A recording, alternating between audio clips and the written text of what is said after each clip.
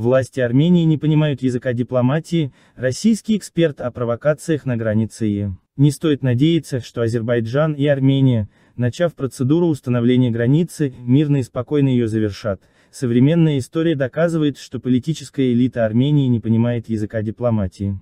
Об этом сказал Дэй. Эйзи кандидат филологических наук, российский политолог Анар Гасанов. Процесс делимитации и демаркации может повлечь пограничные инциденты, локальные вооруженные столкновения. Между Арменией и Азербайджаном много спорных участков, что предвещает нам долгий и напряженный процесс. Не стоит надеяться, что страны, начав процедуру установления границы, мирно и спокойно ее завершат.